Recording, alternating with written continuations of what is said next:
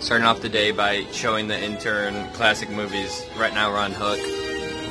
Once again, I realize I haven't like vlogged all day, but it's raining. As you can see, I'm working on some of this stuff. Had some meetings and things like that. Um, but yeah, just getting going on all this stuff. So currently working on my Kylo Ren costume, so I can get it all fixed up and use it tomorrow. But in order to get rid of all this frailing, I'm burning off all and melting down all the frails on this, so that's what I'm currently working on. But this lighter is not working very well. So that's what I'm up to.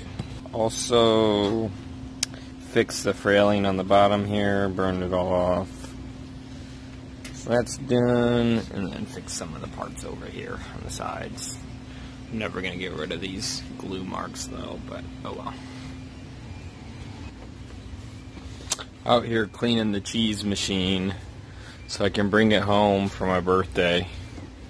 So we can have cheese, so we can have nacho cheese at my birthday party. So, cleaning the cheese machine. Just ended up taking a shower. Pretty tired, got a headache, so I might probably head to bed soon. Um, got a few things I have to do before bed, but do a little reading, check out some bills, make sure I paid them that kind of stuff. That's about it. Um, so, see y'all tomorrow. Thanks for watching. Peace.